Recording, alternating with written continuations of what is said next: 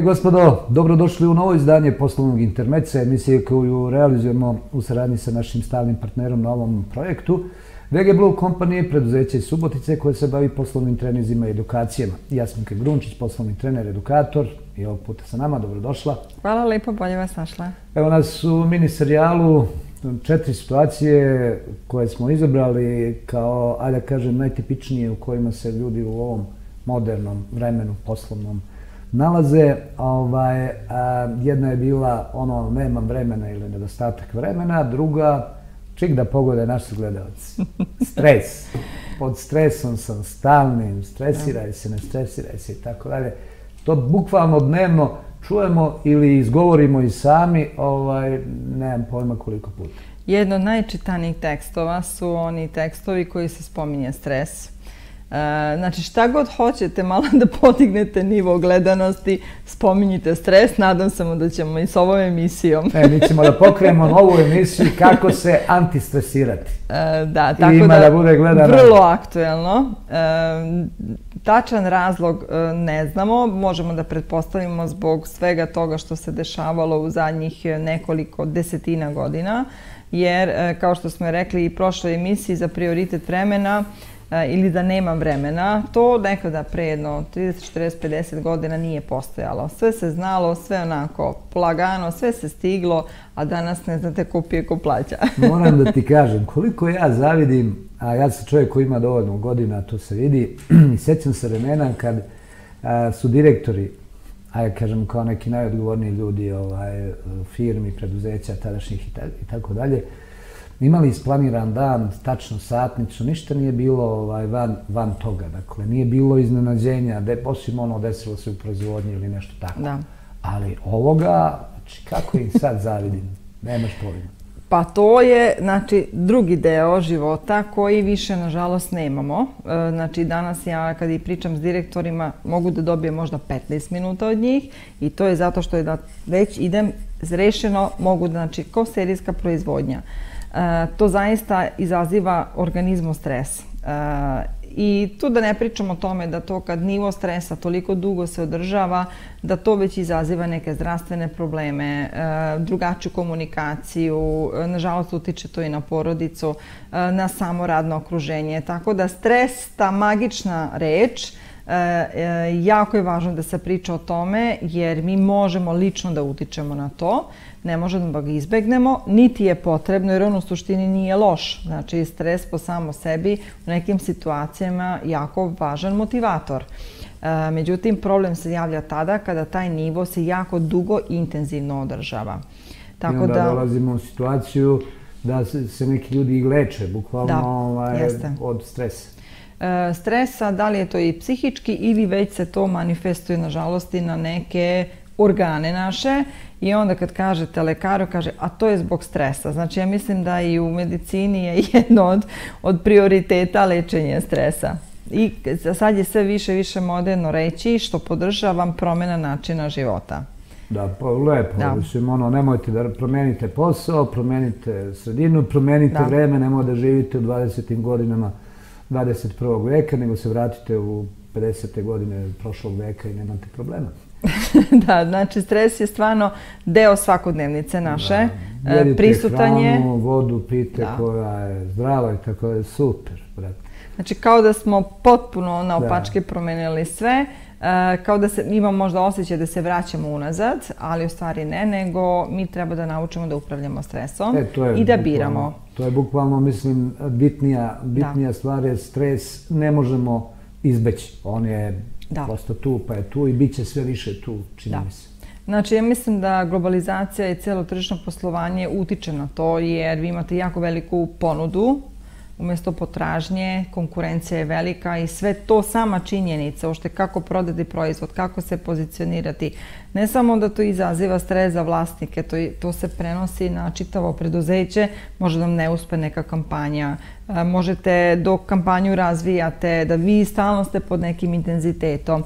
Ali I to kao stvari... građanin, kao kupac, da. čujete, ne znam, ova je preko Alibabe ili ne znam koga već kupio nešto za 10 eura, a vi ga platili 100 eura. Da, da, da. Onda da, prosto da. se zapitate, alo, gde to ja živim, Jeste. tako da. to su činjenične situacije i mi treba da naučimo da upravljamo sa tim i da se suočimo. Ali ima jedna izreka, kaže, ako ne znam uzrok, ne znam šta treba da lečim ili e, čemu treba da se suprostavim.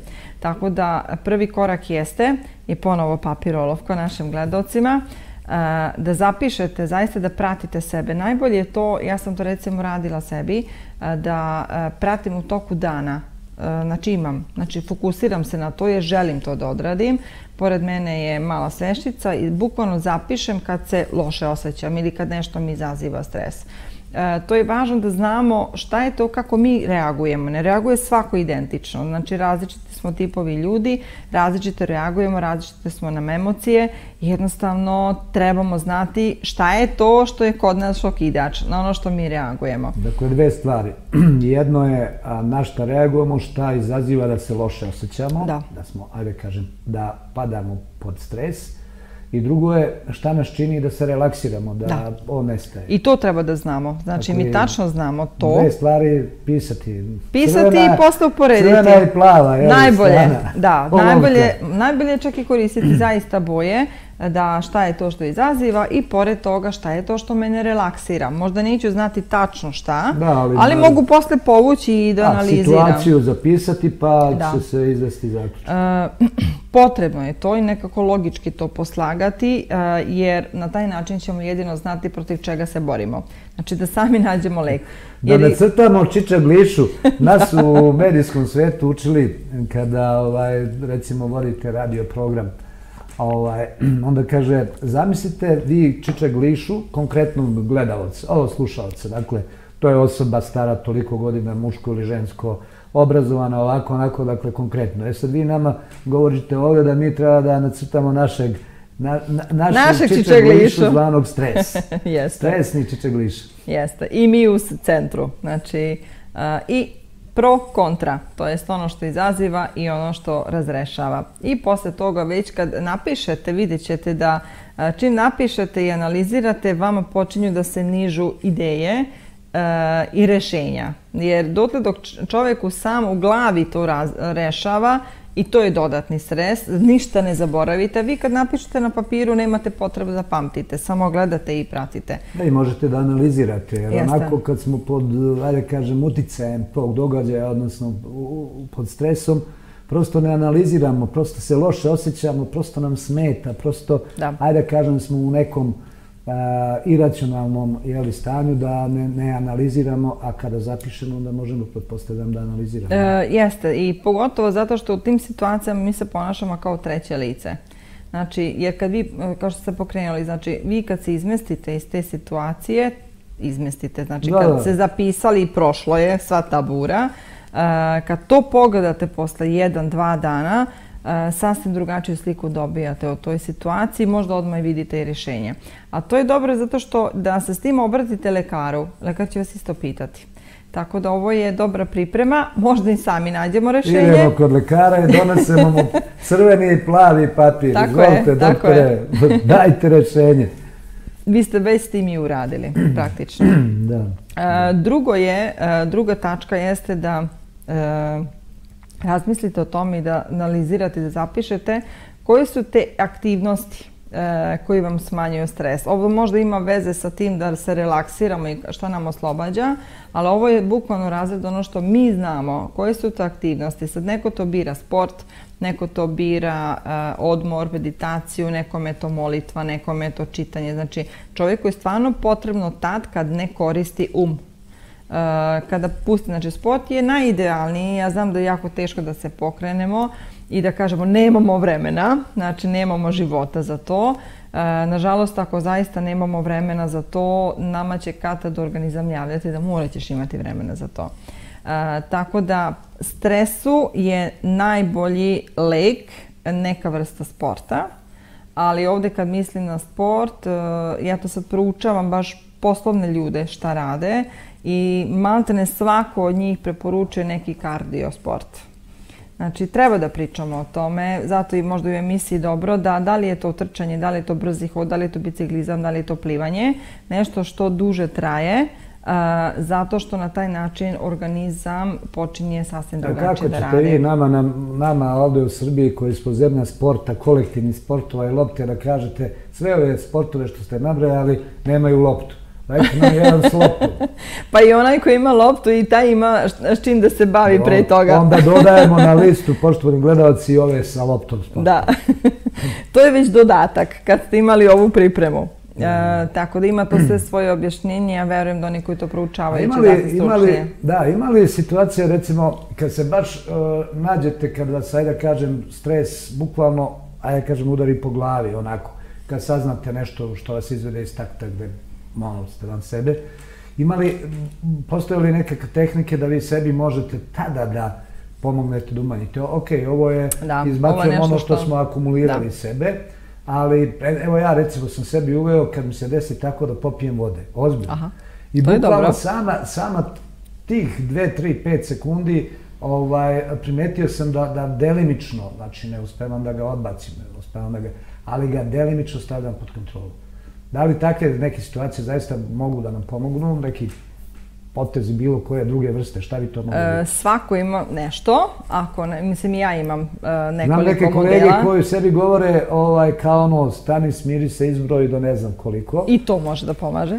Ovaj, ja to nikad zaista nije. Dok, bro, dok probao sam jednom i dok sam brojao, kiptim, šta ti sad brojiš tu, a ovo ti stoji vamo nad glavom. Sve je dobro što, vam, e, što vas izbaci iz one rutine. Šta god da uradite, samo da presečete taj model. Jer ovde je model sam stres. Da, i on krene, on I, ima svoj da. tok. Jeste. Bukvalno. I šta god da uradite, sve je dobro sa čim prekidate. E, recimo, kod mene pali šetnja. Znači, dobro se iznerviram, nešto mi ne ide, nije onako kako sam zamislila, uzmem torbu i odem da se prošetam. Recimo, meni ja, to meni to pomaže. pomaže. Meni, meni da. pomaže da. drugo, recimo da pored vode, to je ono baš u momentu, i onda posle nekoliko minuta samo moram uzeti da radim. Dakle, ne da razmišljam, nego daj nešto, nešto konkretno da radiš, može to biti i umno, ali da Aha. uzmeš zadatak da rešavaš, znači da ne razmišljaš... Eto još jedna ideja. da ne razmišljaš o, o tome šta je, kako je, zašto je, koliko to posledica nosi, šta da. i tako dalje, nego nateram sebe, uzmi nešto konkretno radi i to mi odvuče pažnju sa toga. I to može biti rešenje, da. da.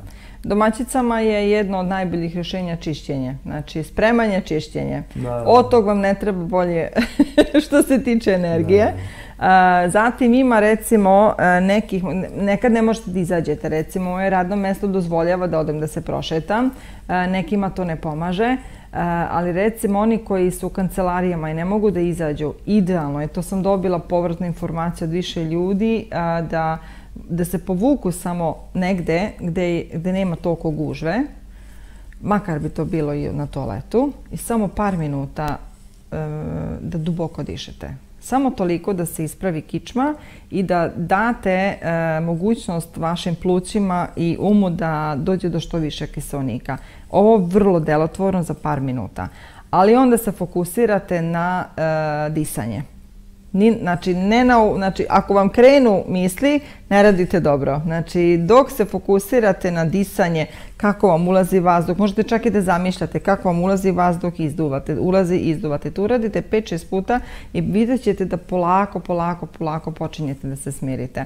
Ovo recimo za one ljude koji ne mogu da napuste rado mesto može biti dobra, dobra da. rešenja. Ali u svakom slučaju taj aktivni odmor je nešto što, što obavezno treba da. tako ovaj, upražnjavati. E, to nešto što kad kažemo nekada je možda bio luksuz da a idemo na sport pa to je nešto kao elitno. E, danas je sport, e, treba da bude svakodnevnica, zato što taj način možemo da amortizujemo sve te e, frustracije, nervoze koje nam stres daje. Znači, negde moramo da iskanališemo i da ispustimo. E, ako nećemo sebi dozvoliti taj luksus, da odvojimo vreme i da to uvrstimo u svakodnevnicu ili bar svaki drugi dan, znači ako nismo u mogućnosti svaki dan da odemo, e, tada, kad nažalost, do, e, pojavi se druga bolest, o čemu smo već pričali u prethodnim emisijama, sagorevanje. Znači, negde se to skupi u organizmu i to utiče na psihu i na zdravlje čoveka. Tako da u ovom slučaju, pošto stres prisutan, takvi su tipovi poslova, imamo baš izuzetno stresne poslove gde je stalno nešto varljivo i to nismo ni spominjali možda na početku da stres u stvari se pojavljuje najčešće kad se nešto kada nešto stalno drugačije se odvija. Znači, kada nismo navikli. Kad nešto radite iz rutine... Kad ne ide po planu. Da, jer vi kad nešto radite iz rutine, tada nemate stres. Znate ishod, znate kako ćete uraditi. Vi kad ne znate ishod, tada stres se povećava i taj nivo se povećava. A mi to sve više i više imamo na radnim mestima. Dakle, da zaključimo, ili tako, ovaj, ako nećete da se gorite... Onda preduzmite nešto, ako ništa drugo, bar razmislite šta bi mogli da uradite i kad ste već razmislili, uradite prvi korak. Pa makar bi otišli samo svaki dan u jedno pola sata šetnje. Hvala Jasminki Grunčić, poslovnom treneru i edukatoru, našem stalnom saradniku na ovom projektu poslovnog interneca. Hvala lepo. Hvala. I njenom, njenoj kompaniji, VGBU kompaniji, preduzeću iz Subotice koji se bavi poslovnim trenizima i edukacijama. Evo zašto i u ovoj emisiji ste čuli, zašto je preporučujemo za sve vaše potrebe na ovom planu. A vama hvala na pažnji. Zakazujem vam novi susret za 7 dana u isto vreme na isto mesto. Do gledanja.